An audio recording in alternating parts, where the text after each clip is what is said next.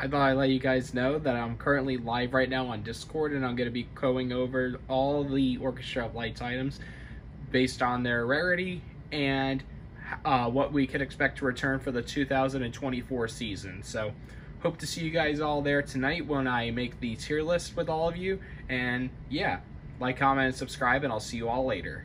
Peace out.